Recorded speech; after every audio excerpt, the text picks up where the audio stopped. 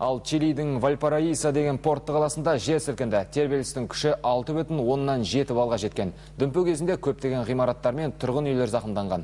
Үкімет қазір 2000-ға жуық адамды қауіпсіз жерлерге көшіріп жатыр. Олар уақытша шатырларды паналамақ. Ал жер тербеліп жатқан сәтті жергілікті телеарналардың бірі эфир жүріп жатқан кезде түсіріп үлгерген.